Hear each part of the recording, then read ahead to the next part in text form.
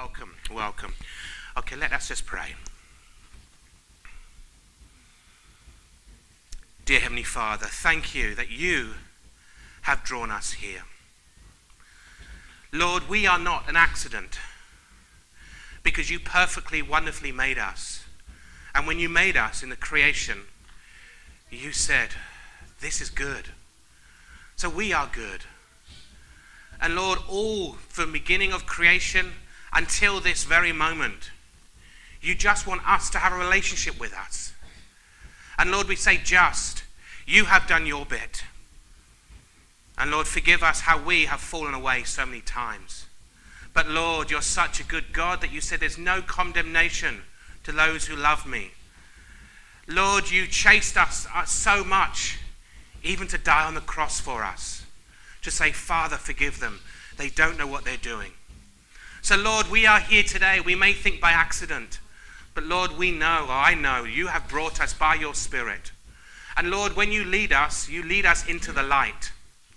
Your Lord, and you give us good things. You're a father who likes to give good things. We as we as parents and grandparents, we know how to give good gifts to our children and our family. How much more can you, though we are evil, that you are good, can you give? So, Lord, I pray that we can hold on to these promises today and we can just come and sit at your feet and maybe just ask that question Lord, what do you want from me? And then here I am, holy and available. So, Heavenly Father, may this time, Lord, be sanctified for you. May we put all our cares and burdens and worries away and dedicate this time to you. In Jesus' name, Amen. Good morning. So, welcome you today. Um, we're going to sing a song. It's called Blessed Be Your Name. And this song is taken from the book of Job, chapter 1. I mean, have you heard of, of, what happened to Job? He went through a really, really tough time. Lost his family, lost everything, lost his finances, lost his job. And uh, what was his confession? He says, then Job, in Job chapter 1, verse 20, says, Then Job arose, he tore his clothes, he shaved his head, and he fell down upon the ground, and he worshipped. That was his response. When he went through a tough time, he worshipped. And he said, Naked I came out of my mother's womb, and naked I will return. The Lord gave, and the Lord take away. Blessed be the name of the Lord. Now, we're all going through tough times at the moment with the pandemic, with the, the current climate, with all the financial problems and everything else. So I, I, I believe every single person is going through something tough in this room and was being affected in one way or another by the pandemic. But what we're going to do today, we're just going to say, Blessed be the name of the Lord. Anyway, in spite of what is going on out there, we're going to know that God doesn't change. So we're going to continue, like Job, to give our praise and our worship to God. So let's stand and sing if you would like to. Blessed be the name of the Lord.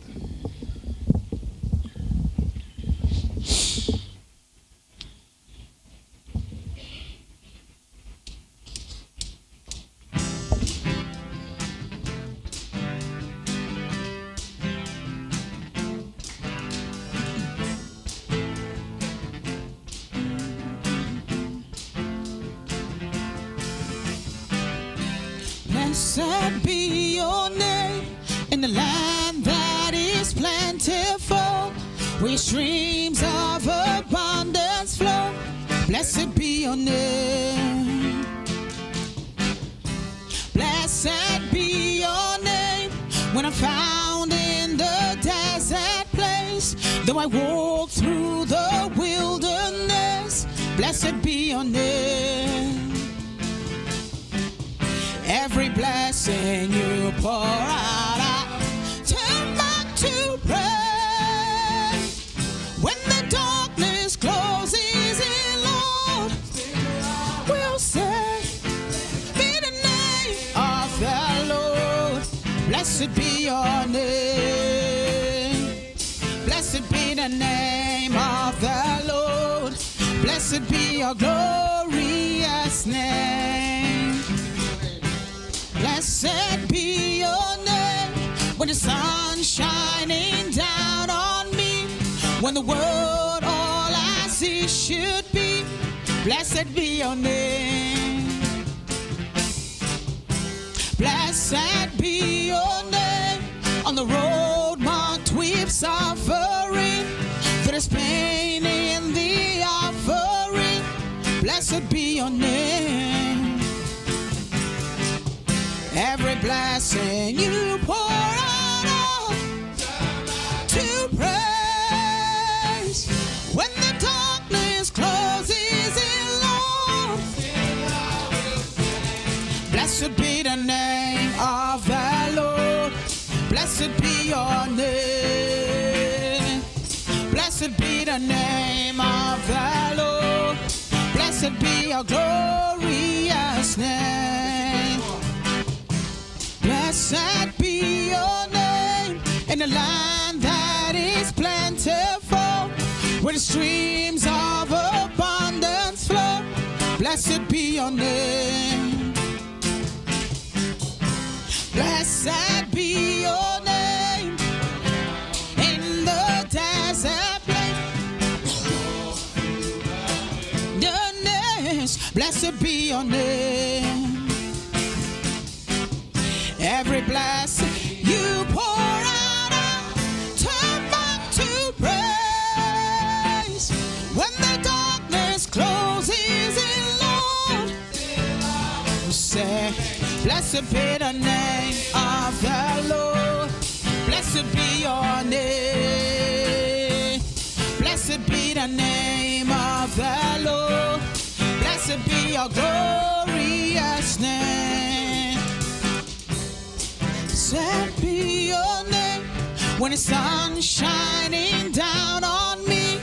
When the world's all as it should be. Blessed be your name. Blessed be your name on the road marked with suffering.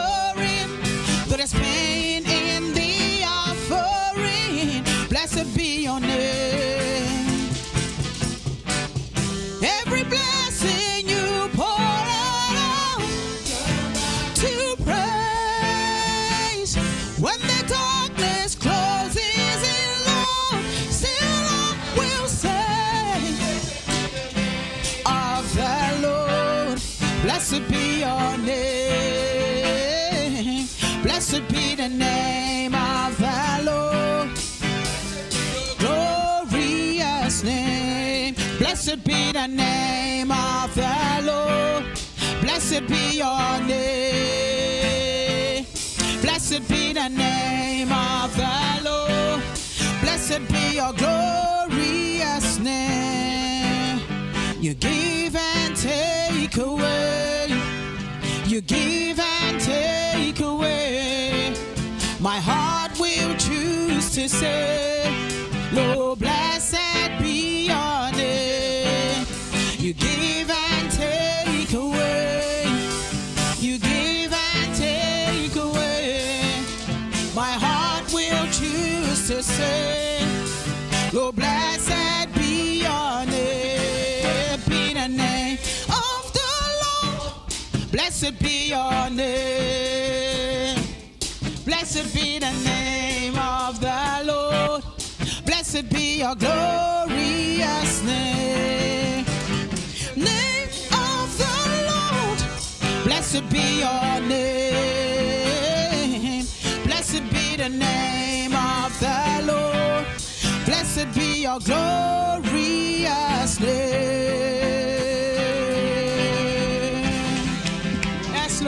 Amen. Thank you, Jesus.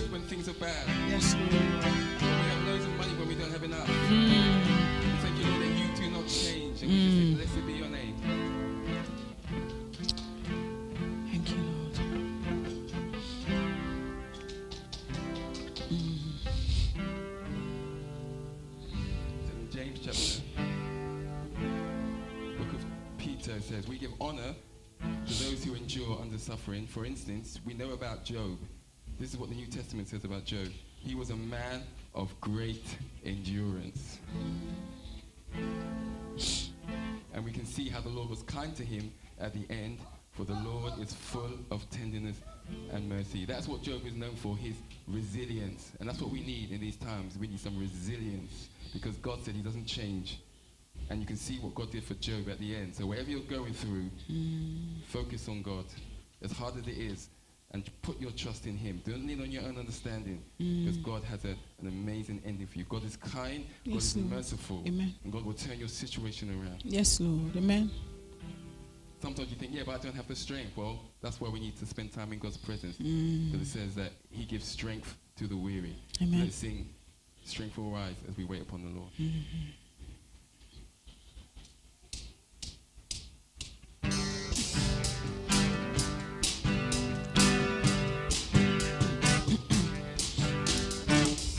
Strength will rise as we wait upon the Lord. We will wait upon the Lord. We will wait upon the Lord. Strength will rise as we wait upon the Lord. We will wait upon the Lord. We will wait upon the Lord. Strength will rise as we wait upon the Lord. We will wait upon the Lord. We will wait upon the Lord. Strength will rise as we wait upon the Lord. We will wait upon the Lord. We will wait upon our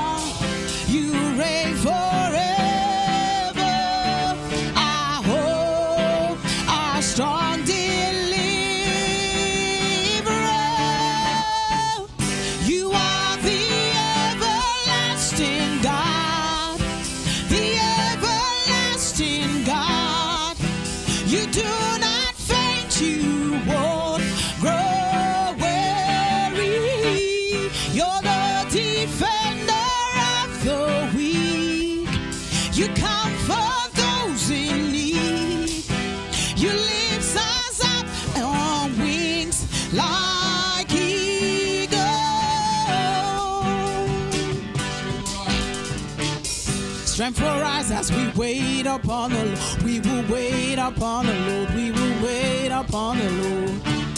Strength will rise as we wait upon the Lord. We will wait upon the We will wait upon the Strength will rise as we wait upon the Lord. We will wait upon the We will wait upon the Lord. Strength will rise as we wait upon the Lord. We will wait upon the We will wait up. Our God, reign forever. Our hope,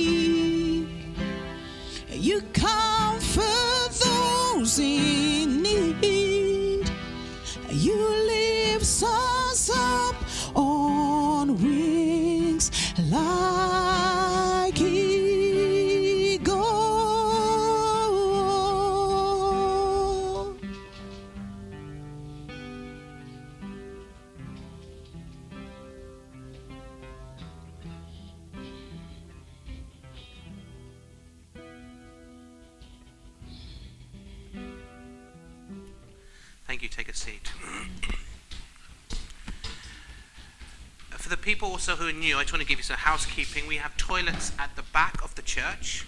We also have toilets here. And also for creche, I see, uh, I see some babies there, which is lovely. We have a creche back there, and we have toys and things. Please do feel free, again, just to get up and walk. I know sometimes it can be daunting. You're new, oh dear, what do I do? It's okay. Don't worry, just get up and you can walk. And it's just outside here, and someone will direct you if you look lost. But it's just at the back, back there, and there's toys there you can play and I'll set the TV up a minute and also you can see the service there as well. So do feel free if the babies and you want to take them out, that is fine. I also think we have a change baby changing room as well there as well. Sorry if I'm focused on you, but I'd like to just tell you everything that you need to know. Okay, uh, news and notes today. Some of you may have golf. Let's do the activities first. Thank you. The activities this week, we have a quiz night. Is it quiz or is it chit chat this week? Phil, do you know? That's what I thought. So every other week, we actually every week we have a Zoom night with people on Zoom, and it's either a quiz night or we just have a chit chat. And this week it's a chit chat. So um, if you want to go and come and see me at the end to give you the, uh, the details, and if you're church members, if you want to uh, email me, and, and, if you really want to know the, the codes, and we'll let you know. Tuesday focus group is Tuesday at 2 p.m. Um, activities well. Wednesday is Teddy Bear Club. We're going to be praying later, and some of you will probably, when you hear this, go, "Oh, poor Sandra has got COVID."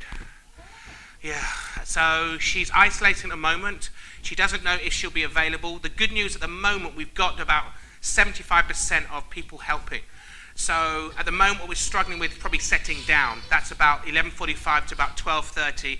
If you're available on Wednesday, and you want to just help clear up, that would be fantastic. But at the moment, Sandra, and we're going to be praying for her later on, and she has a few symptoms as well. She's feeling a bit rough, she said.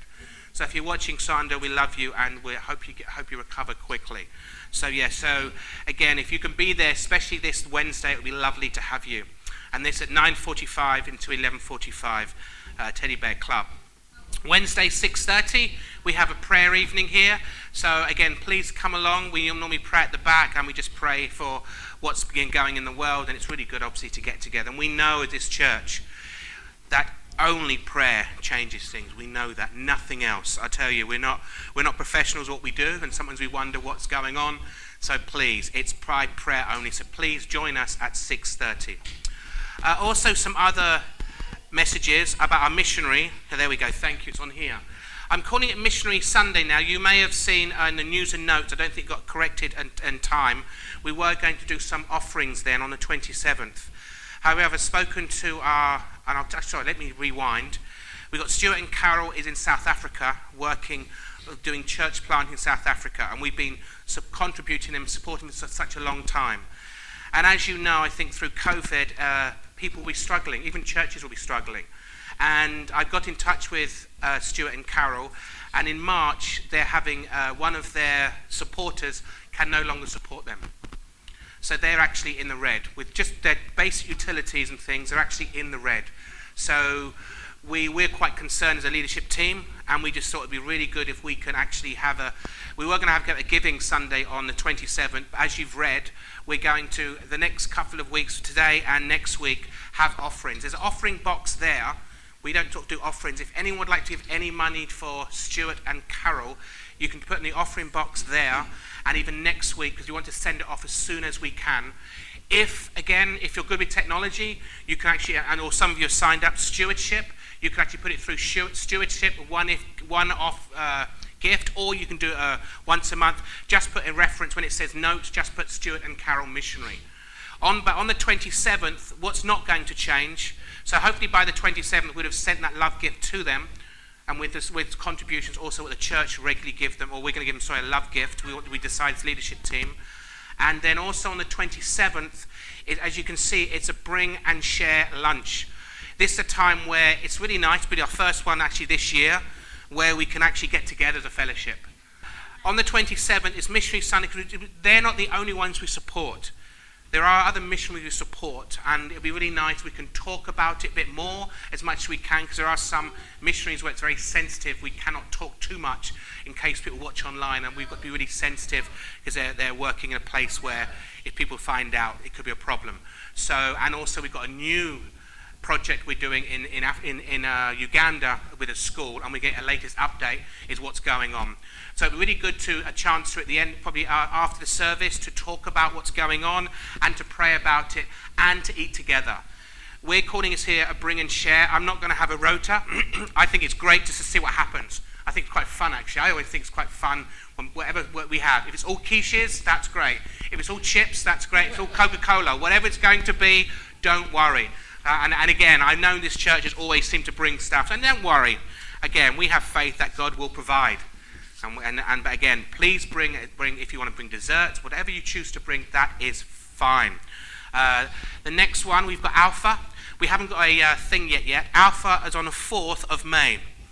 And Alpha, as most of you know, it's a, a really a, a course for basic Christianity where they can ask questions about Christianity in a safe place where sometimes they're not used to the church atmosphere because it's quite scary. And the questions they're scared to ask, where this is a place where any question is safe to ask. And, and actually, something's good because then you're like, oh, I wanted to ask that question. That's happening on the 4th of May. I need a lot of help for this. First of all, I need a lot of people to pray. I need a lot of people to pray for this. Secondly, I need some boldness from some of you to think and ask God actually, God, who do I invite? Who do I invite? Is it my family, my friends, even my workers, or even some of my enemies? Who knows? Who do I invite? And I pray that God will put that on your heart. God did say, love our enemies as well and our neighbors. So uh, please put that on your heart. The next thing that I would need is food. At the moment, I've got some people helping with food, which is fantastic, but I still need people who are willing. They may say, I will do a food. I want to do it like the old Alpha. Someone's familiar with it, they'll have a cooked meal. I really want to sit down, have a cooked meal, and we can talk. So if you think, yeah, I could do one week, let me know. It's on May the 4th, and it runs about 13 weeks. We also need helpers, people who like doing facilitating talk, not being the main talkers, but one basically who helps a conversation flow. And if someone who's got a good maybe character think I can do that, you're not gonna you don't have to have, have all the answers. If anything, I don't want you to. You're just basically helping the group facilitate and not make sure that one person is not always talking, basically. In a nice, well, oh, that was nice, can I hear from you? And we need basically two people in two groups. And I'm thinking at the moment, I actually would like four leaders. So two, two leaders and two helpers would be nice. And then la- lastly, what we'd need as well, which you probably know, we would need people obviously to clear up. the probably like simple thing, maybe coming at nine o'clock or eight o'clock when we're in there and cleaning up the kitchen, things like that. If that's something that you're interested with, you can email me. You can email me, and if you don't know the email, it's on our website. It should be up and around here. Or you can come and see me at the church and say, put my name down, and then I would do it. But I really need your help. This will not work without you. I did an alpha back a long, long time ago and I think we had a team at least 10 people. So I really need a, a strong team there. uh, I think that is it. House groups can be next week. If you're new here, we do have house groups, and they are every other week. And they'll be meeting next week, and I'll tell you more about the dates of house group for next week. And now we go on to celebrations. Birthdays and celebrations. Uh, we've got Tony today, is his birthday. And, and Simon, you whispered in my ear to say, who else was it today? Whose birthday? Who is it? Sorry, son. Who? Okay, we've got another birthday here. Is anyone else's birthday here? There we go. Yeah, that was it. There we go. Thank you. Thank you. Happy birthday. Sorry we didn't have your data here, so thank you. But happy birthday as well. 21 again. I know. Thank you. And is there, yeah, is there any celebrations we've got? Is there anything that anybody wants to give thanks to God for this week? Yes. Oh, yes, oh, yes, we're having a baby boy. So, yes, we just found out, thank you. And again, we want to actually we do want to give thanks for that everything is healthy. There's no scans. We had this scan, went through the whole check, so everything is all going well. And and just to embarrass her, that's my wife over there. Sorry, with the bump. So yes, thank you. Uh, so yes, we give God thanks for that. Any other? Yes. Your daughter's going to be 50. Wow. Wow, and I bet you can't probably wrap around your head, can you? Probably still thinking nappies, yes. I can't imagine when I'm saying they're 50, yes. Wow, 50 years old. Very young, 50. I say that because I was 50 a couple of weeks ago, so yeah, very, very young. Anything else, or we just give thanks to God? Okay, let's give thanks. Dear Heavenly Father, we thank you so much for all these activities. But Heavenly Father, we don't want to just call them activities, we want to call them bridges to your heart. So, Heavenly Father, all the things that we've talked about, all the missionaries that we support and contribute, Lord, I pray where they are right now that you will sustain them, you will give them the provincial needs they need, you'll give them the rest they need. Because, Lord, sometimes missionaries, Lord, they give so much. You'll give them the friendship they need around them and give them the, the spiritual support that they may need as well to grow. As they are giving, may they have places, Lord, where they can grow. And Lord, particularly at the moment, we do pray for Stuart and Carol. Lord, you know their situation. And Lord, we just pray that you will provide. And Heavenly Father, if that is through us, speak to us. But Lord, you said that you, you, you want a cheerful giver. So, Heavenly Father, may anything that we feel from you, that we do it cheerfully I don't want, Lord, we do it, Lord, with a heart that we think we have to do it. So I pray, Lord, for this church as well, for our finances. Help us to know how much to, su- to supply to our missionaries and how much do we need also to prepare for what's coming ahead. So give us wisdom when it comes to our finances as, as individuals and as a church. And Lord, we lift up Alpha to you. We thank you already for the people who are going to come. We thank you, Lord, that you are going to be calling them. And we pray that you wake them up. Wake up their slumber right now, their spiritual death. Wake them up. And Lord, that may be through us. You call us, you say, We are the light in their darkness. Lord, it may be us at work to say, Come to Alpha. And that may be our first time we've ever stepped out.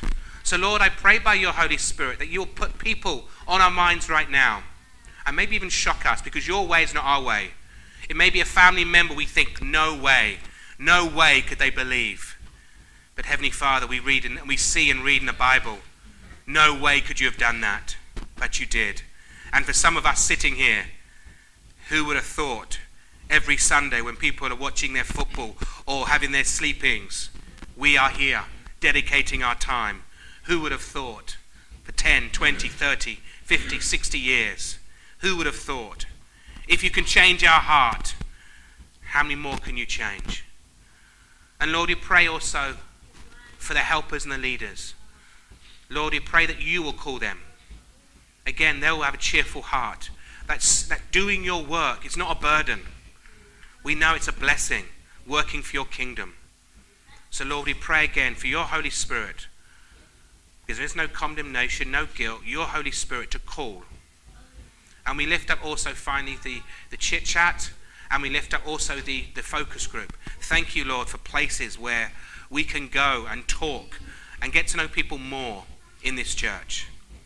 We pray all this in Jesus' name. Amen. If there's anything I ever do forget as they're coming up, do let me know. We can put it in our news and notes. But there is a, if you want to also be on our mailing list. We have we give out notices after this service. We normally give notices what we've been set up here as well. So if you want to be on our mailing list, do let us know. Thank you. Okay, we'll come to um, masses for prayer. So before we bring our shopping list to God, because that's what we do, is there any answers to prayer? I just want to ask, because we've been praying for things over the weeks. Has anyone got any answers to prayer? Maybe you said already in the celebrations, but has anyone anything happened that you prayed and God answered because God does answer prayer. I didn't, I didn't prepare you for this, but my daughter's got an answer to prayer, haven't you? Um, she hasn't been well for the last couple of weeks, had a really, really bad cough, not COVID, thankfully. Um, and then you complained of having your ears blocked. Remember, was it both of them or one of them? Yeah, so we prayed, didn't we, last night, and what happened? Um, my ear, the right ear stopped hurting, and then the left ear unblocked in the morning. So the right ear stopped hurting and the left ear unblocked. So we just want to give God thanks for that. So God does answer prayer. Any other answers to prayer? Anyone?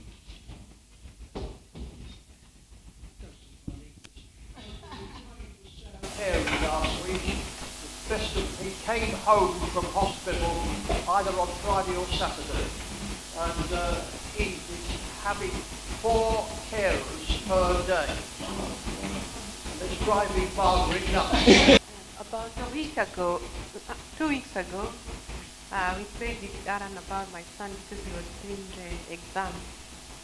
Uh, he finished the exam and he got his first job, so he thanked God for that. Anyone else? So Mark tested positive for COVID on Wednesday, so we all had a little panic in the household. Um, thankfully, we've all been negative all week, and Mark tested negative last night, so he's all clear, and we're all clear, and no one else got it, so that's brilliant. Yeah. That's fantastic. Um, this morning when I was preparing, I'm just going to illustrate this. The scripture says, cast your burdens onto the Lord because he cares for you. What's a burden? A burden is a heavy weight that's on your back. And so what happens, what that means is like, so you're weighed down by whatever it is your, that is troubling you. It could be COVID, it could be uh, the sickness, it could be uh, finances. And what costing your care means is take off the burden, go to the feet of the Lord Jesus and leave that burden at his feet. Does that mean that the answer comes straight away? No. But what does it mean? It means that you've given the anxiety over to the Lord. And that's what makes you free to worship him. When you take your heavy burdens and you give it to the Lord Jesus Christ, it says because he cares for you. So you can rest assured that when you give that situation to him, he cares for you. My daughter was worried about her ears, but we, we prayed and we laid that thing down at the feet of Jesus Christ. When she woke up in the morning, ears were opened. Does the answer come straight away? No, there's things that I'm still waiting for for years. But I'm still I'm not going to worry about it. I'm just going to trust God. Okay? So on that note, is there anything that we, anybody would like prayer for today? Yes, Brother. Uh, Derek is out of hospital, but he's very, very weak. And he's on a promise now for his chemo to start the part five February. Uh, but he's, he's quite low and he's quite I'm going to ask the people that come to the prayer meeting, the prayer. Yeah, sure, of course you can. Yeah.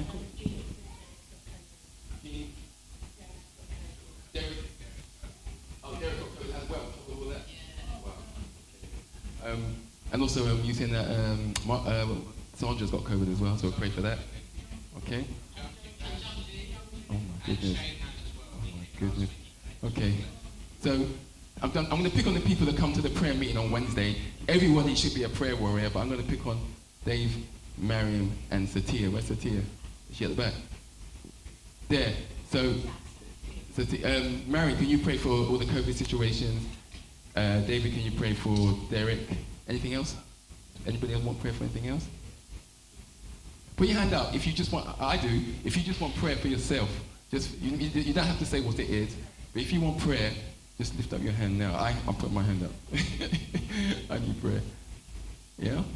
So, Satia and the prayer warriors, if you see the people got their hands up, if you could pray for them, please. So I'll, I'll give the microphone to David and Mary. Blessed are you, O Lord our God, King of the universe. You are the God who heals. You are Jehovah Rapha. Father God, we lift up Derek before your throne of grace. We thank you for his life, Lord. And Father, in Jesus' name, we ask that you touch, he's feeling weak and he's feeling low.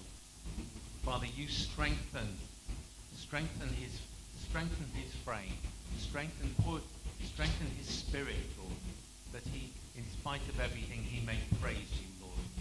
And his treatment will be timely when they say it's going to be. Father, in Jesus' name, encourage him. In the name of the Father, Son, and Holy Spirit. Amen. Father God, in the name of Jesus Christ, we thank you, we love you, Father, because you first loved us. We worship you, Jesus, because you are the Christ, the Son of the living God.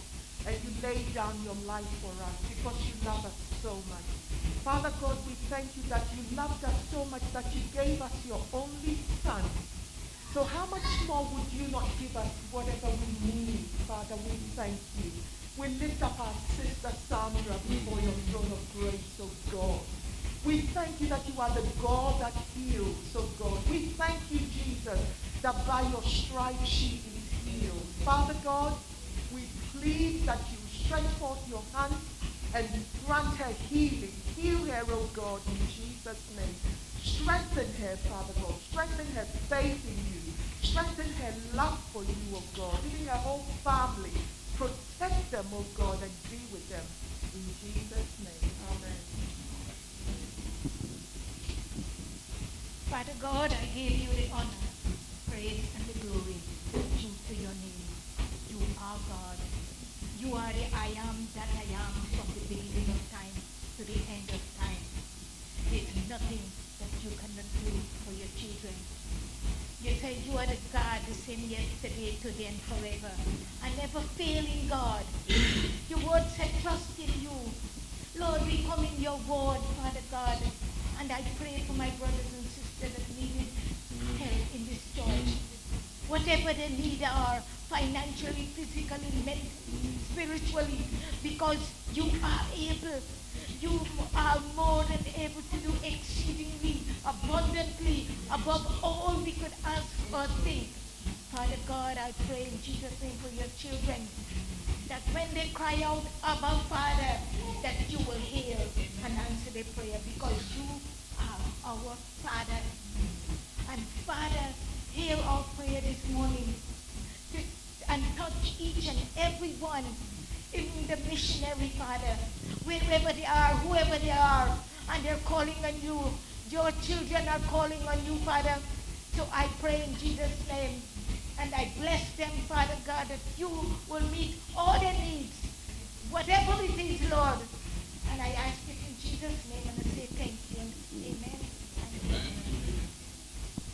Yes, Father, anybody who has COVID, Lord, in this church, Lord God, or even not in this church, Lord God, we thank you, Lord God, for your protection, Lord God. We thank you, Lord God. You said that you will take us through it, Lord God. Thank you for um, the testimony of people who have recovered, Lord God. I thank you that they will recover, Lord God. So every single person that has been uh, tested positive for COVID, we thank you, Lord, that COVID is not greater than the name of Jesus and that you will take them through and the symptoms will not be um, serious, Lord God, but they will be mild, Lord God, and that they will recover quickly. In Jesus' name, Lord God.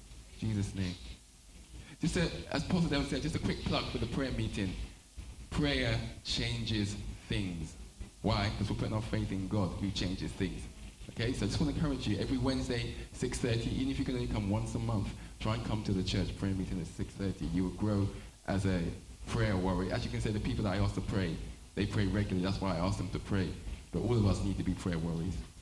Prayer warriors, not warriors, not as a warrior, as an anxiety, but a warrior. so as the children go out for Sunday school, we're just going to have a, uh, two more songs and then Grandma's going to, oh, yeah, impossible something.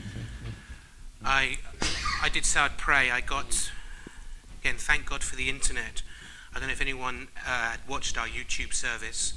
Uh, someone commented, I don't know who they were, and they said it would come today. And don't worry if you're not here today. And uh, today would have been his 10th year that their son Daniel would have died.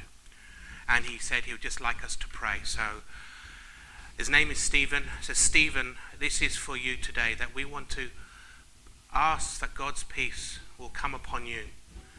We thank you, Lord, for Daniel. We thank you, however short that time was, that we thank you that children are a gift. But Heavenly Father, we also pray that when we are mourning, you come close. You said that when we are lowly, you will lift us up.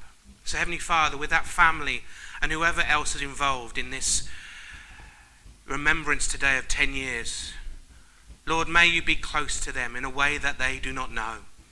May you give them peace. That really there should be no peace right now. Maybe anxiety and frustration and anger. But Lord, you say in the word that you give peace past all understanding.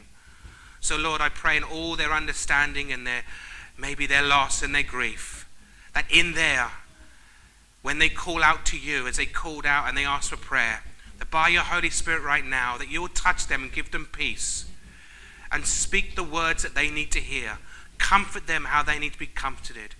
And again, we thank you, Lord, for that life of Daniel.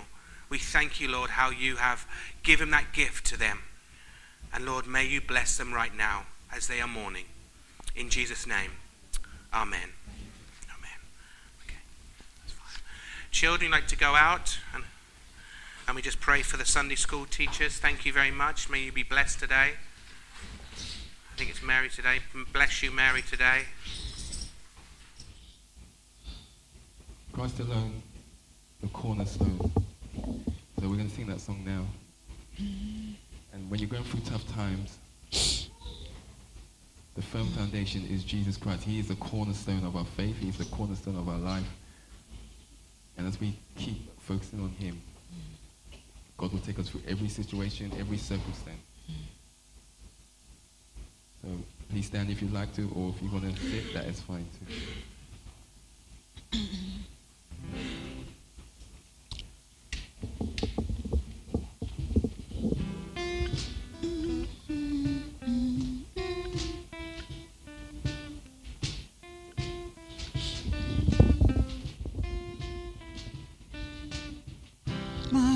is built on nothing less than Jesus' blood and righteousness.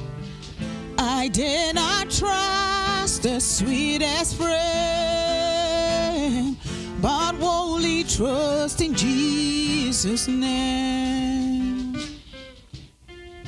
Sing it again, my hope is built.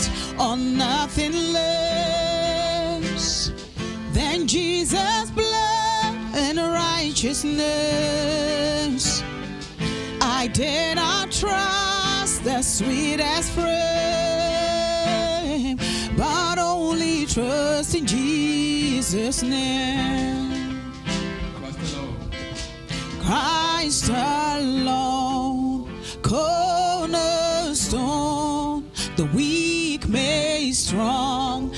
in Savior's love, and through the storm, He's Lord, Lord of all. When darkness seems to hide his face, I rest on his unchanging grace.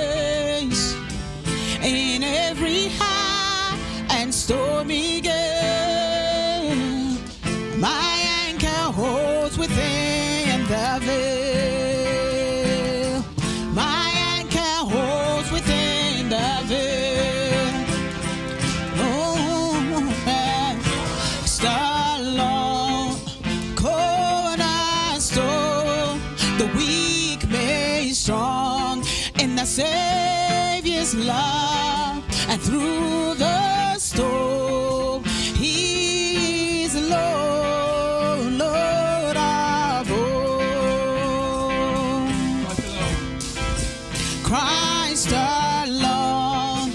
Cornerstone, the weak made strong in the Savior's love, and through the storm, He is Lord, Lord of all.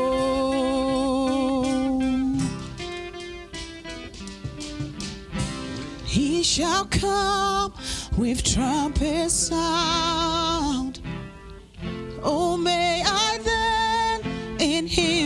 Found, dressed in his righteousness alone, fully stand before the throne. Alone, cornerstone, the weak made strong in the Savior's love, and through the storm, He is Lord, Lord of all.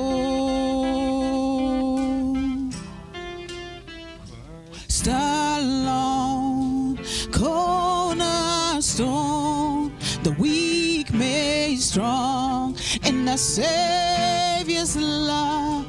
Through the storm,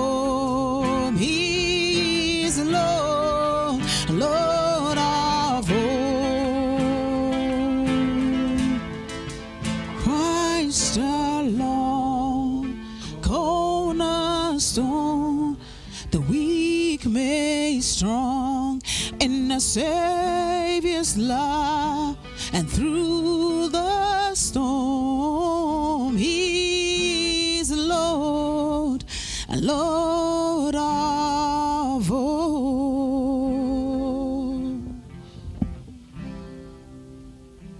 He that dwells in the secret place of the Most High shall abide under the shadow of the Almighty. I will say of the Lord, He is my refuge, he is my fortress, my God, in him will I trust. Surely he shall deliver me from the snare of the fowler and from the noisome pestilence. he will cover me with his feathers, Mm. and under his wings I shall trust. I will not be afraid of the terror that comes by night, or for the arrow that flies by day, Mm. nor for the pestilence that walks in darkness.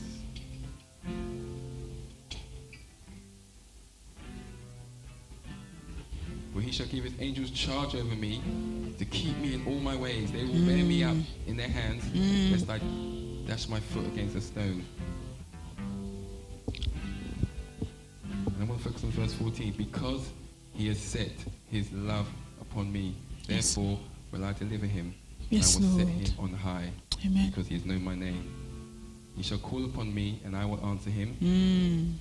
I will be with him, I will be with her in trouble, and I will deliver them, and I will honor them. With Mm. long life, I will satisfy them and show them my salvation. Mm. Verse 14 says, Because he has set his love upon me. Mm. And that's the challenge for us to continue to set our love upon God, despite the circumstances, no matter what we're going through. And as God gives us strength to continually set our love upon him. Um, Granville's going to be talking about um, the church that lost its first love. And I pray that that's not us, we're not, or that's not you, that you haven't forgotten your first love, which is Jesus Christ. Mm. And as my wife sings this next song, we will join her in the second time we sing it. We're going to sing Draw Me Close to You, Never Let Me Go. I lay it all down again to hear you say that I'm your friend.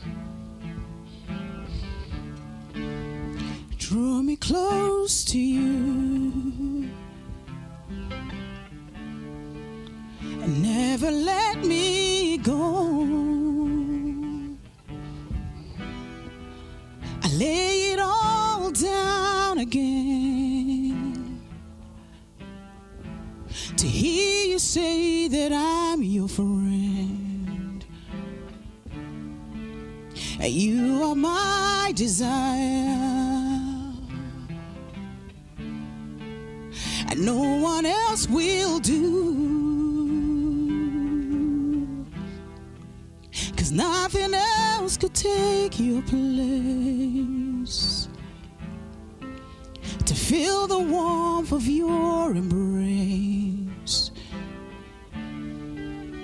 Help me find the way, and bring me back to you.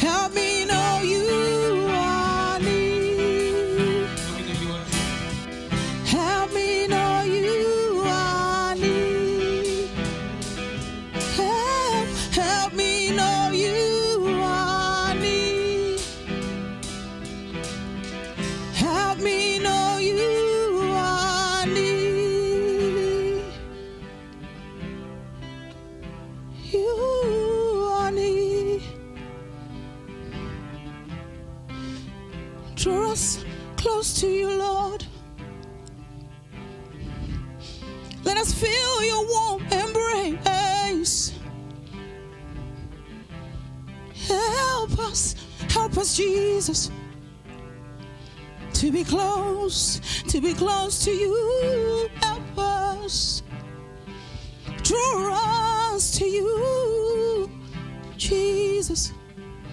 We want to feel your warm embrace in this time of need.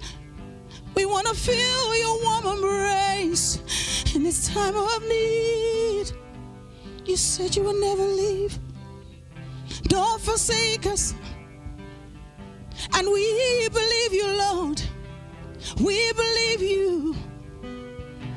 You're not a man that you should lie. We believe you that you will come. Come and help us. You will come and help us in this time of need. Because you care. Yes, you care for us. Yes, you care. You care for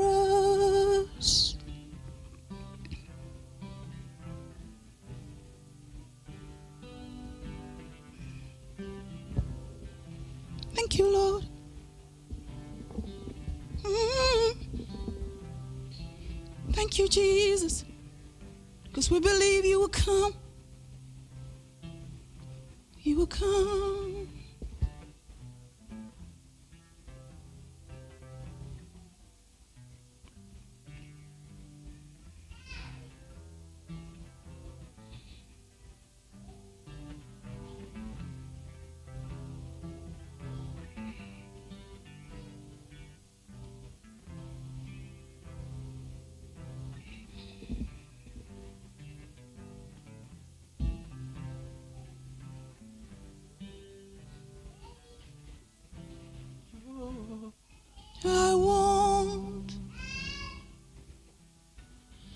You're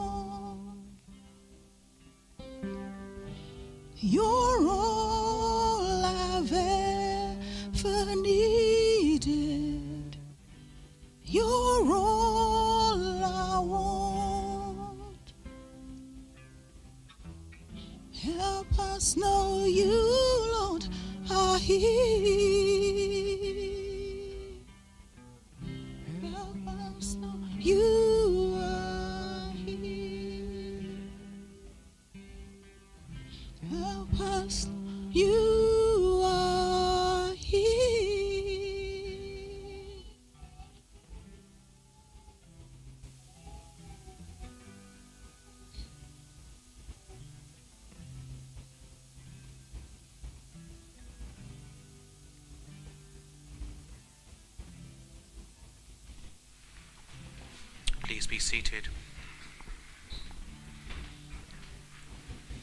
Dear Heavenly Father, you draw us near to worship. You draw us near also to your word. Your word is a lamp unto our feet. To dear Heavenly Father, as we come now to listen to your word for your servant, Lord, I pray that you will be with Granville. All his preparations that he has done, been led by you. Lord, may we have an ear to hear. Lord, a heart to almost comprehend and feet to do be the action. So, Lord, be with Granville now, we pray. Amen. So the the uh, the message of um, chapters two and three of uh, the book of uh, Revelation is to uh, the seven first century churches in what is today modern day Turkey, but what in those days was known as Asia Minor.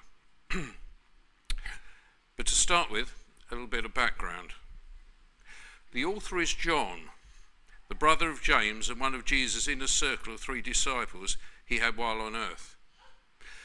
John also wrote the fourth gospel, but I'm a bit reticent to call him the author, as it quickly became apparent that from the start, either Jesus or the Holy Spirit is the source of the content of this book. John is more or less an observer or a listener who logs down what he's told or what he's seen. Most commentators agree that the book was written in the latter part of the first century by now elderly John, who was exiled to an island not too far away from Tur- Turkey called Patmos. Now, years ago, I thought that John was kept on this island for the rest of his life. Uh, but it looks like he might only have been exiled to Patmos for about 18 months. And it was during this time that he produced the book of Revelation. Uh, after that, it's generally believed that he went to, he returned to Ephesus. And it's to Ephesus we will go in in a moment. But first, I need to say something else. And that is that I'm wondering if this series should have been eight weeks long, not seven because the vision of the risen, awesome Jesus in chapter 1 is integral to aspects of the content of the message Jesus gave to these seven churches. But hopefully that will come out as we hear what he's got to say. And with that, let's read Revelation chapter 2, verses 1 to 7. And I'll be using uh, the NIV translation. Incidentally, if you ever want to use a church Bible, the trolley at the back there has got a load on them. And today, this uh, passage is on page 1234 in the church Bibles. So, to the angel of the church in Ephesus, write These are the words of him who holds the seven stars in his right hand and walks among the seven gold lampstands. I know your deeds, your hard work, and your perseverance. I know that you cannot tolerate wicked people, that you have tested those who claim to be apostles but are not, and have found them false. You have persevered and have endured hardship for my name, and have not grown weary. Yet I hold this against you. You have forsaken the love you had at first. Consider how far you've fallen. Repent and do the things you did at first. If you do not repent, I will come to you and remove your lampstand from its place.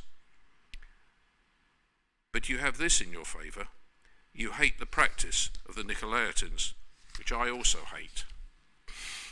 Whoever has ears, let him hear what the Spirit says to the churches. To the one who is victorious, I will give the right to eat from the tree of life, which is in the paradise of God.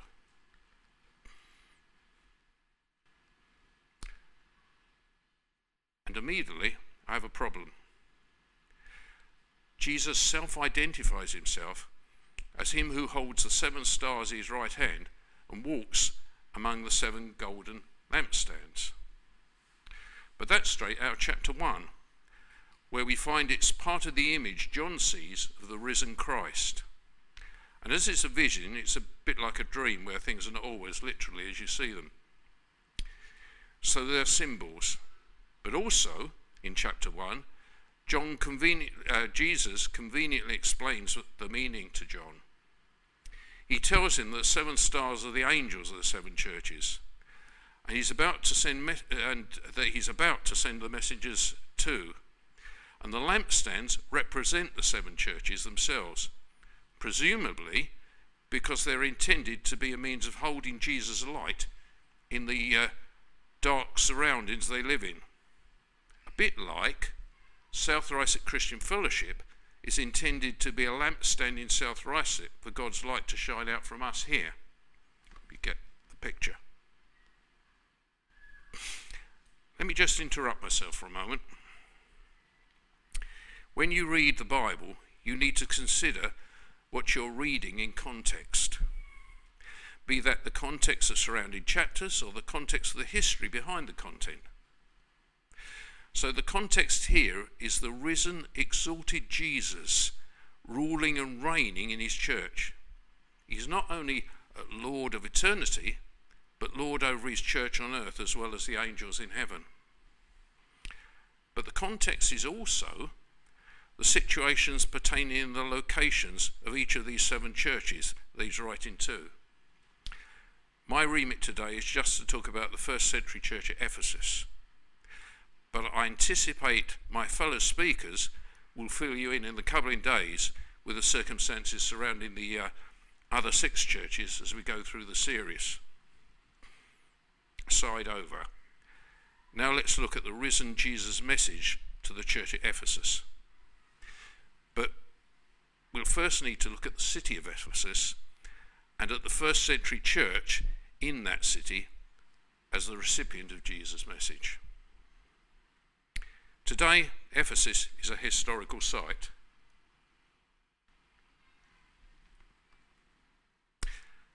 Give you some idea of the place. This is the ruins of uh, Ephesus's library. The history of Ephesus goes back a long way, and its location moves slightly down the years.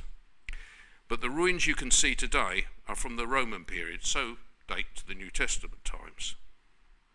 It was a port city although with the silty up of the sea, uh, uh, sorry, silty up of the river that uh, it was situated on, the sea is now some six miles away. And it was a key administrative centre of the Roman province of Asia. So think of it as the local area as London, and you get a feel for its importance. Religion wise, it had two main strains. The first was the goddess Artemis, also known as Diana. And uh, if you read the book of Acts and Paul's missionary journeys, that name will be familiar to you. As there was a riot in Ephesus directly caused by Paul's introduction of Christianity to the city, being instrumental in ruining the trade in silver idols, just as the one shown. The other strain was emperor worship. Interestingly, the practice of um, worshipping living em- emperors happened in the provinces, but not in Rome itself. But seeing as Ephesus was a, a, a provincial capital, it was here that uh, there was the, the Roman imperial cult.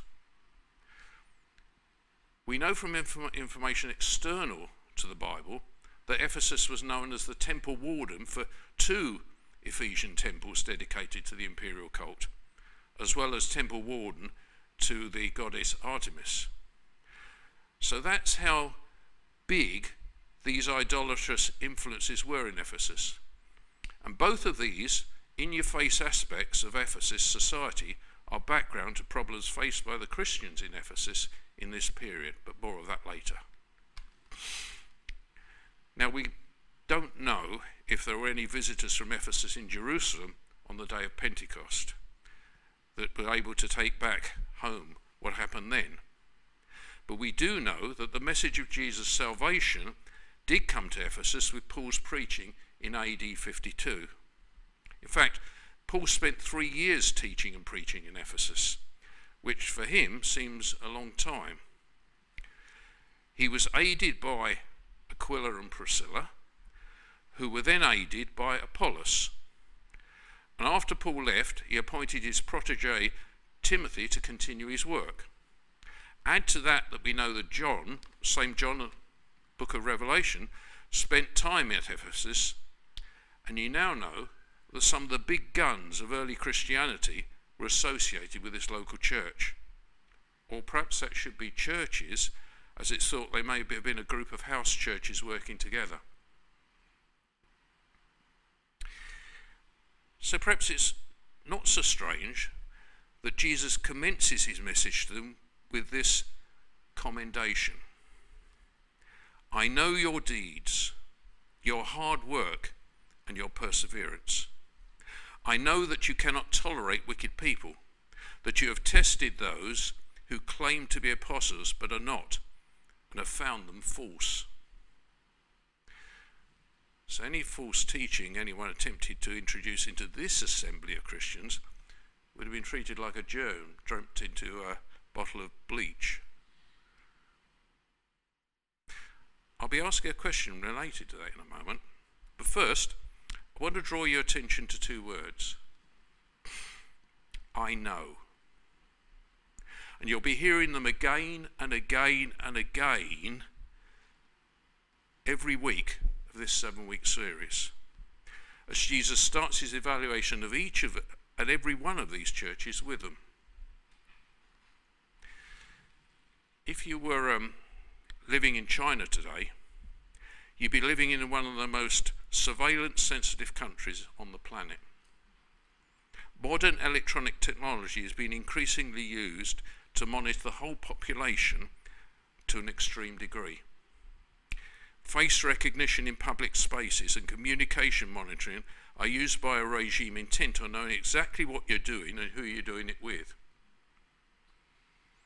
And I read somewhere they even wanted to install face recognition equipment inside churches. Those they haven't shut down, that is. But when Jesus says, I know, he doesn't need any of these sorts of means. If I time, I'd like to read the whole of Psalm 139 to you, slowly. But just to give you a flavour, the author says this about God You know when I sit and when I rise. You perceive my thoughts from afar. You discern my going out and my laying down, and you are familiar with all my ways. Before a word is on my tongue, you, Lord, know it completely. You hem me in behind and before, and you lay your hand on me. Such knowledge is too wonderful for me, too lofty for me to attain. And that's the platform on which the messages to these seven churches stands. Because our all knowing God says time and time and time again, I know.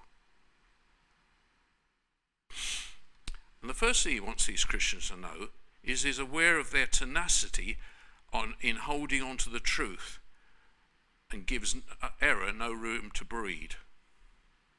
So I now need to ask the question how well equipped are we to be able to receive the same commendation from Jesus in 21st century South Ruislip.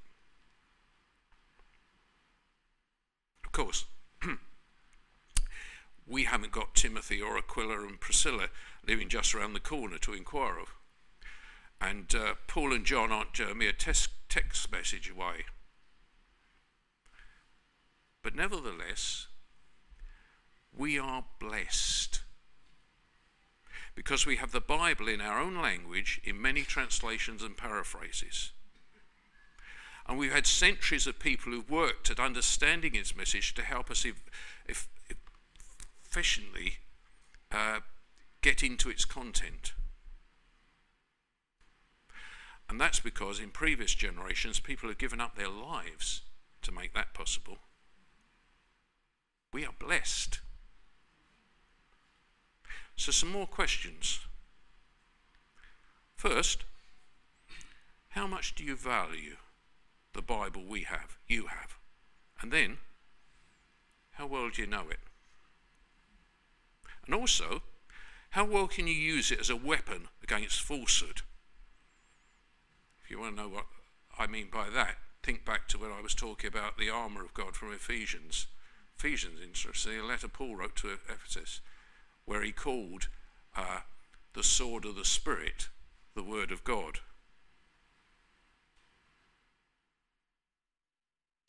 Let's be specific. There are some street preachers who were recently arrested for teaching from the Bible that homosexuality is not right according to God's way of, thinking. Are they right? Or are they misrepresenting God? Is the society norm around us correct? Or is it not right? And Christians need to have answers to such things that they can rely on because it's not just down to our opinion not even the teaching of a particular church denomination, but right because it's what God says about it. what about divorce? What does God say about that? Or come to that, relationships in general, be that marriage, work, church, family. Or what about prosperity theology? The idea that says fundamentally that if you scratch God's back, he'll scratch yours. And forgets the hundreds upon hundreds of our brothers and sisters who today aren't becoming prosperous as a reward for their faithfulness, but are being killed for it. So the question really is how well do you know the Christian Disciples Handbook, the Bible? And I know I've said this sort of thing before, but I'm not apologizing because it's such an important part of living the Christian lifestyle. And we live in a country where we have so many aids to understanding the Bible, from various uh, day, daily Bible reading notes to more in depth uh, study commentaries. And we live in a country where owning one won't get you thrown into prison, which you can't say for everywhere in the world.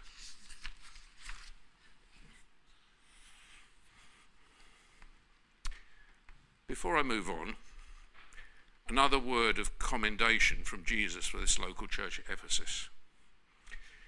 He commends them for their perseverance. You see, the Christian life is a marathon, not a sprint. We're called to be spiritual Mo Farahs, not Usain Bolts. Don't believe me? Hear what Hebrews 12 has to say. Therefore, let us throw off everything that hinders and the sin that so easily entangles. And let us run with perseverance the race marked out for us, fixing our eyes on Jesus, the pioneer and perfecter of our faith. Discipleship is a lifelong event. And then Jesus tells the Ephesians that they had something else in their favour. They hated the deeds of the Nicolaitans just as he did. Hate is a very strong word, and here it's Jesus who's using it. Someone said it means that he finds them utterly repulsive. So the question must be who were these Nicolaitans and what were their deeds? We can thank the writings of uh, two of the early uh, church leaders for the little information we know about them. It appears the name comes from uh, being followers of a man called Nicholas of Antioch, who was actually one of the first seven church deacons mentioned in Acts uh, chapter 6 and verse 5. but obviously later went off on his own, uh, went off in his own way. Acts 6 5 tells us that he was a convert to Judaism. So he started out in paganism, converted to Judaism, and then to Christianity, which might actually be material to the heresy that now bore his name. Because basically it was a belief that you could intermingle different religions together and there was nothing unique or separate, in other words, holy, about believing in Jesus. Excuse me. Which, in the local context of Ephesus, meant you could participate in the practices of the worship of Diana, act, associate with the activities uh, uh, to do with the worship of the emperor, and also break bread and drink wine every Sunday to celebrate Jesus. It was a belief system of compromise. And within the add ons brought in by this belief system was not only idolatry, but also immorality which is why some people uh, couple this error to Jesus' message to the church at Pergamon, which we'll be looking at in two weeks' time, where the teaching of Balaam from the Old Testament is mentioned. But the fact is, all these compromises destroy the faithful discipleship we're called to live. So, bringing it up to date, what Nicolaitan influences have we bought into in our 21st century Christianity? Not now from this man's deviation from the truth, but from the multitude of influences in the society around us. Let me make a few suggestions of possibilities. And let's start with thinking broad. Because the real reason behind the Nicolaitan deviation was a desire to fit in so, what in your lifestyle has more to do with fitting in at work or at home with others' accepted, uh, accepted norms uh, than with Jesus' prescriptions? That uh, could be sexual stuff. The ideas and practices that our society now deems okay, that if you ran them past Jesus would be considered compromises with purity, purity or maybe it could be nearer the deviations of uh, uh, the church at Ephesus than we'd care to admit. Acceptance of cult practices or the influence of the stars. Or is it maybe the magnetic draw of materialism and its envious grip on the fallen human nature?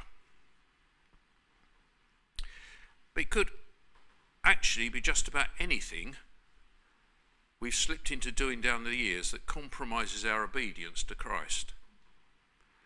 And if you overlay the principles of faithfulness to God that we find in the Bible, it wouldn't show up so well.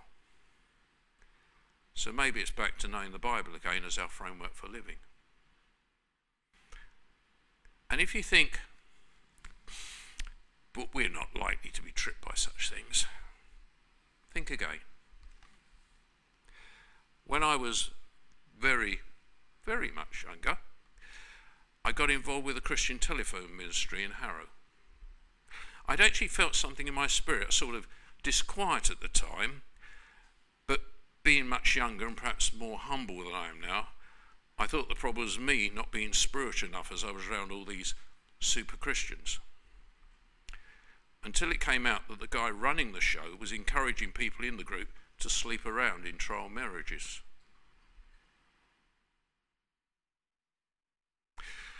I need uh, to leave you to ponder the personal implications of these thoughts uh, sometime later because I, I now need to move on to look at Jesus' words to this church where he says, Yet I hold this against you. If you were the first listeners to this message being read up to now, you might have been patting yourselves on the back and uh, on the quality of your discipleship. But hearing Jesus say this would have burst your bubble. For Jesus says, Yet I hold this against you. You have forsaken the love that you had at first. Consider how far you've fallen. Oops. But we need to ask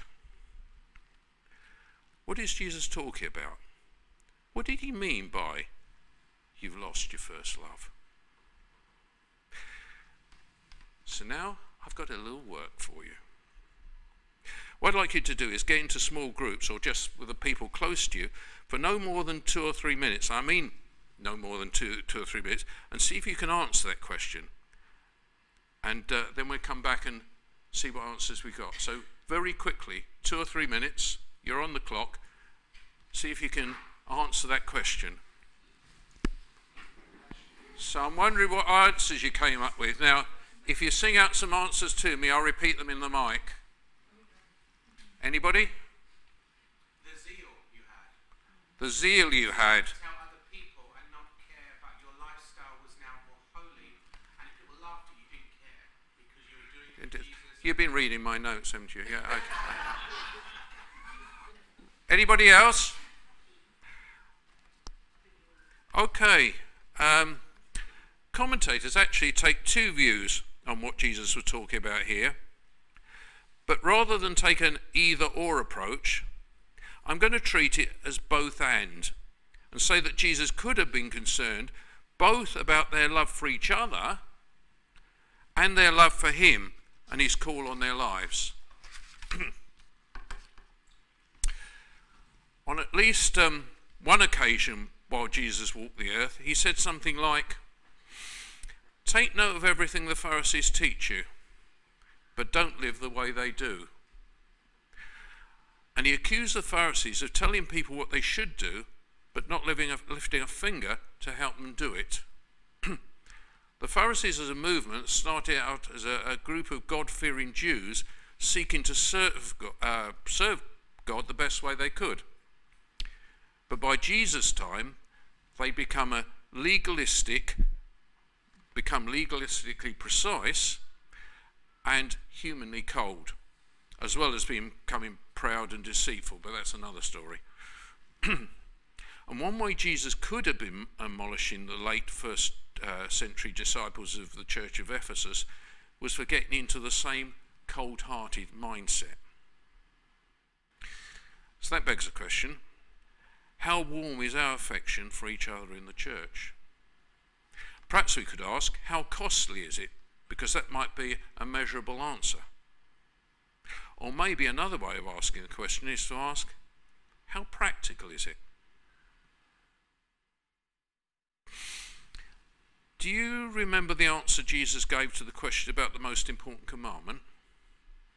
Jesus said, Love the Lord your God with all your heart and with all your soul and with all your mind. This is the first and greatest commandment. And the second is like it love your neighbour as yourself. All the laws and the prophets hang on these two commandments. Of course, Jesus told at least one parable pointing to the fact that your neighbour is more than just your brother and sister in the church. So we look at uh, specific teachings in various New Testament letters to flesh out uh, the detailed applications, some detailed applications of the Bible. But the answer Jesus gave about the greatest commandment does bring us nicely on to the other thread of thinking about what he meant when he said to, the, to this church at Ephesus, You've lost your first love. They didn't love him like they did when they first believed in him. Now, Nikki was here earlier, wasn't she? She's gone outside. Yeah, okay. I was going to get Nikki to come up to the platform and talk about Arsenal. Sorry for the uninitiated, Arsenal's a football team. Um, the trouble is, I probably had trouble get her to go back and sit down again. And the reason I had that problem levering off the platform is that she would be animated with a passion about her favourite football team. You see, while it's not a good translation, if Jesus said, Yet I hold this against you, you've lost the passion you used to have. It could work as a reasonable paraphrase. Not, of course, that the Ephesians had lost their passion for the periphery things of Christianity, because Jesus already complimented them on that, but they'd lost their passion for Him. Because Christianity is based on a relationship, not on a rule book. And so serious did Jesus take this charge, uh, change in them, he said, Consider how far you've fallen and repent. That's the same word used when we first came to believe in him. In other words, turn round and go in the opposite direction. And he even added the dire consequences that if they don't, their church will cease to exist. That's the meaning of removing the lampstand. I wonder how this uh, loss of their first love was being seen in their lives. One suggestion is it was a loss of a clear witness in their lives. They'd lost their zeal to tell others about Jesus and what he'd done for them. And if you want to know what that sort of witness looks like, just think back to last week and Samuel's testimony about what God had done for him. And I wouldn't, don't need really to say too much more. But that doesn't mean you've got to have the same sort of testimony as Samuel. Mine is nothing like, my experience of God is nothing like Samuel's. But it's just as real. And a loss of a clear witness is what God of what God had done for the Ephesians fits with the threat of removing the lampstand. Because it was supposed to hold out the light of the world uh, to others. And if it wasn't, what was it the purpose of being there? Back to the idea of supporting a football team. And if you're enthusiastic, you share that enthusiasm. So maybe enthusiasm for, enthusiasm for sharing Jesus could be a, a sort of paraphrase as well. That they'd lost. Today, Ephesus is just a historic site. Uh, but in the couple of centuries uh, following the writing down of this letter, it remained a powerful Christian witness and it gave martyrs to Christian history. So we may presume they took note. But what about us in 21st century South Ruislip? What are we supposed to take away from this message for us today? And how do you show a genuine passion for Jesus today? Is it, for instance, making a lot of noise in church with our style of worship? Is that the sort of passion for Jesus he says is missing? I'd say not. It goes much deeper. One man I know of who walked the walk of loving Jesus was a young American called David Wilkerson. He saw the news of a criminal trial being held in New York in 1958 of seven members of a street gang. He felt the Holy Spirit lead him to up sticks from a church in Pennsylvania and go to New York to tell the drug addicts and gang members about Jesus. One day, one of the gang members said to him, I could cut you into little pieces. To which David Wilkerson replied, Yes. And every piece would say, I love you. And that's something else about the love that Jesus found this church in Ephesus had lost. It wasn't a, a quantity matter, it was a quality issue. So, where do we get this quality of love? Because one thing's for sure what we can't do is produce it by our own willpower. If you go to John's Gospel, chapter 14 and verse 15, you'll find it says this If you love me, keep my commands.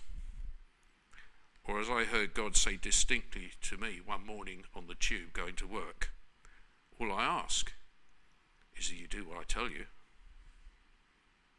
But the verse goes on to say, And I will ask the Father, and he will give you another advocate to help you and be with you forever. Actually, that's a, bit of a chicken and egg statement because we can't love or obey without the help of God the Holy Spirit being with us and within us.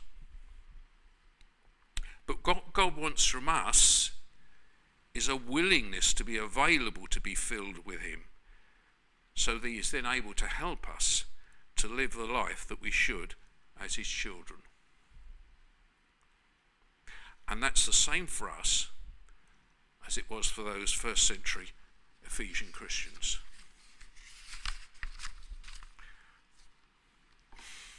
So, in conclusion, please let us love as we should, both God with passionate obedience and those around us with genuine loving affection. Amen. Thank you very much, Granville. Uh, very challenging. I think the question we've got to ask when it comes to about repentance, it may be come to have we lost the belief in what we're reading or what we're not reading?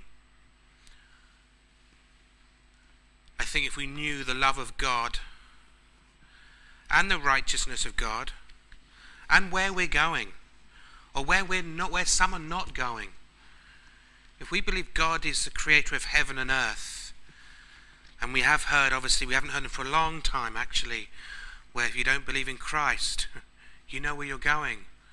Oh no that's not very nice. We don't want to tell people that anymore. And if we're not careful we actually get quite soft into oh is there really a hell? And then we kind of change our doctrine and we kind of get and then we ourselves lose that urgency sometimes to tell people. I know some people yourself i'm not talking about me as well i've i've seen two different funerals now and two and feelings of funerals believe, people who believe and people who don't and I've seen it where people don't know where they're going. I see the confusion, the pain, the anger. And then I've seen where Christians can say, we're having a celebration. And the joy, yes, you're mourning, but the joy of we're going to see them one day. I know I've lost that in my heart, that our friends and family we will not see no more. We've lost that. And I think we even need, even I need to ask God for that in our hearts again. I think we've kind of a bit loose in our love of God wouldn't do that, would he? No, we do that to ourselves, or they do that to themselves. And we've got to see that again. And I've got to see, even I've got to see that again, that our loved ones who are not saved will not be with us. As my wife said when her mother in law got saved the week before she passed, she said, and it was so great, and I always remember this. If it wasn't for knowing that one day we resurrected and seeing my mother again, I could have not gone through that pain and anguish. What kept me going was the faith and the reassurance that I will see my mother one day. No more tears, a new body, and living together forever. And that's when we can say, Amen. So may we have that joy in our heart, and may we ask the Lord, even where we're today, and thank you again, Granville, that with things that we read, let us start believing that again. And let the urgency of our belief be then the passion to then obviously just tell. Because if we had that urgency of knowing where they were going, some of them, or the urgency the other way, and I know people have done it in this congregation where there's no hope, and you just say to somebody, Jesus loves you, and you see them weep. There are people out there who've got no hope at all. no hope. And we have that hope. And it could be simple as Jesus loves you. You are perfectly, wonderfully made. And he wants a relationship with you. I wish I could be more passionate like that when I saw people mourning. What is the worst thing that can happen to us, church? They laugh at us. But what's the best thing that can happen to us or to them? They find the Lord Jesus Christ and they find salvation. Dear Lord, forgive us. We have strayed. This church should be full. Forgive us, Lord. And may you give us that fire in our bellies again, knowing what we have got, that gift of salvation. Help us, Heavenly Father, to have that passion again. In Jesus' name, Amen. We're now going to prepare for communion. The, the song we're going to sing to prepare our hearts for communion, getting this love back again. Please remember there's no condemnation belong to Christ. You just surrender and repent. We're going to be singing before uh, we as we start communion. What kind of love is this?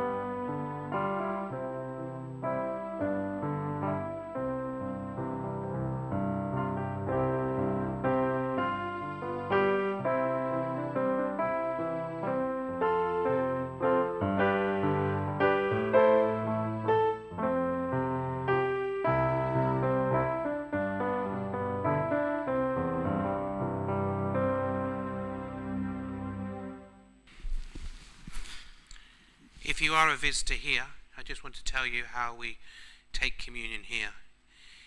If you've turned from your sins and you believe and put your faith in Jesus Christ for your salvation, not by works, but his salvation, Jesus invites you to come to this table, to share in this communion in remembrance of the act what he did for you and I.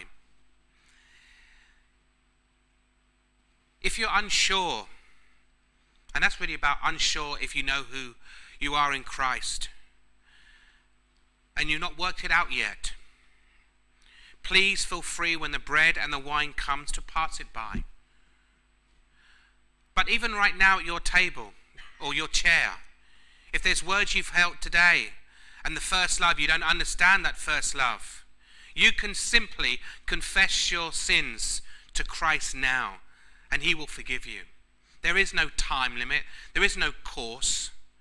Confess your sins to Jesus. Call on the name Lord Jesus Christ and you will be saved. Even if you did that today in your seat and you thought, yes, I wasn't a believer, but I want to believe in Christ. I believe Christ died for me on the cross, for my sins. I am a sinful person. But Jesus died, and when he said, Father, forgive them, that was for me. They don't know what they're doing. And then he conquered death by resurrecting on the third day. If you believe in that, simply confess your sins today, and you can take communion. That is how simple it is today. And for Christians who are here, and I know I've been there sometimes, very hard. You may have had a hard week, and you know, I'm not worthy.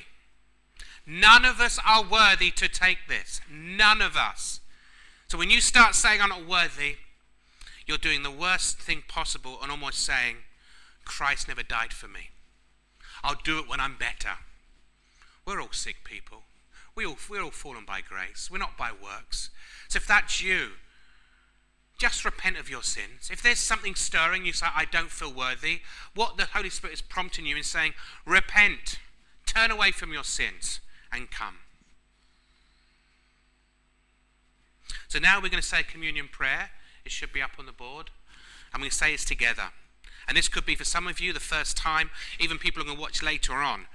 You may want to say this prayer. Let's say together Lord Jesus, I bow before you in humility and ask that you examine my heart today. Show me anything that is not pleasing to you. Reveal any secret pride, any unconfessed sin, any rebellion, any unconfessed sin that may be hindering my relationship with you. Let's pause there.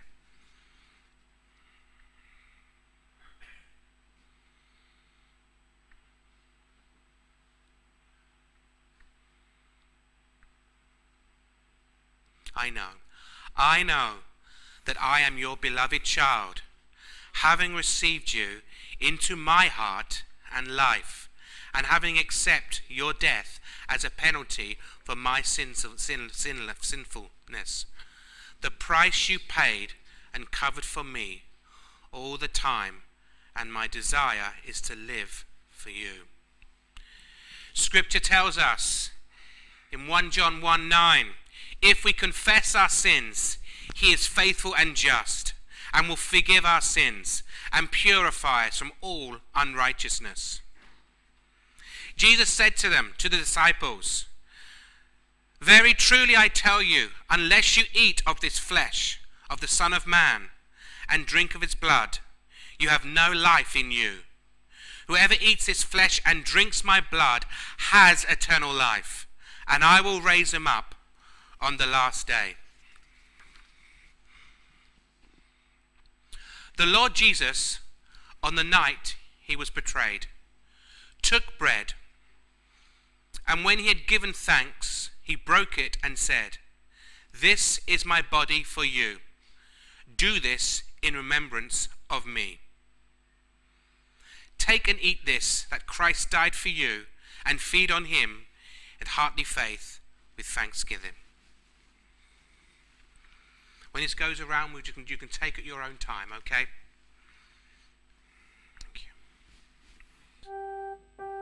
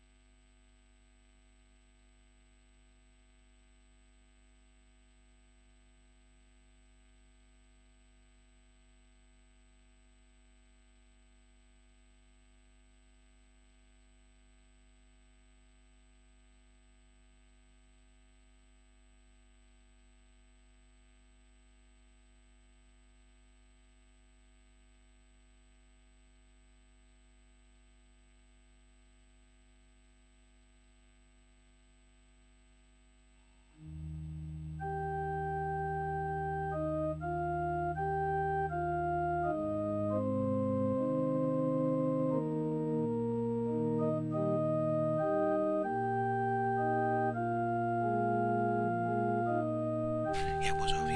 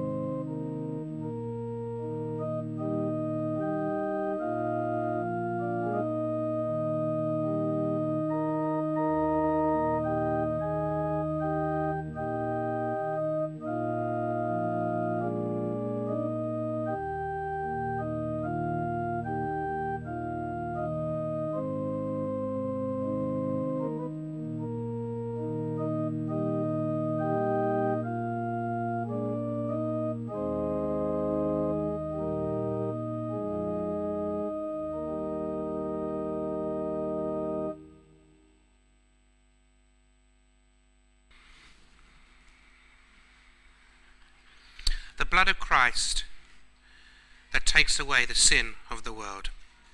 Amen.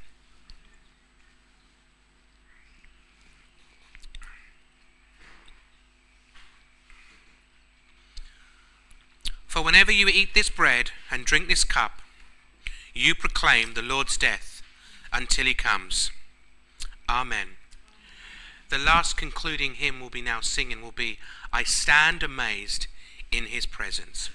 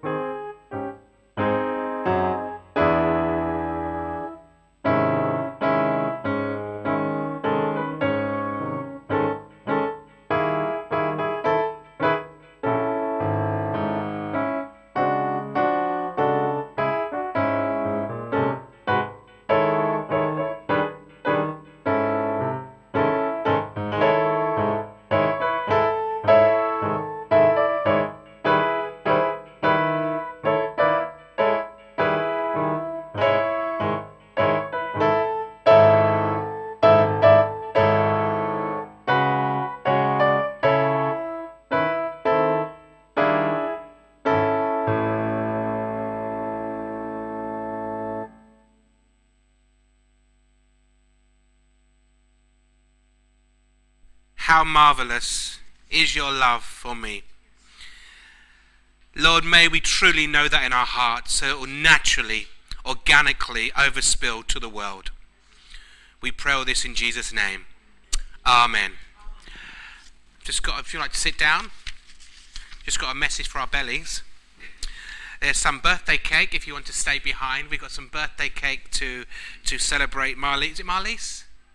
Got Marlise here. Oh, sorry. Marion, sorry, Marlise here. I thought, I thought. Marlise? Don't worry, sorry. Forgive me. Don't worry. Marlise, say yes. So some birthday cake is there. And may you have your daughter as well have a lovely birthday as well today. Bless you. Have a wonderful week. And if you can stay around for cake, good. But if you don't, I'll eat the rest of it. Thank you.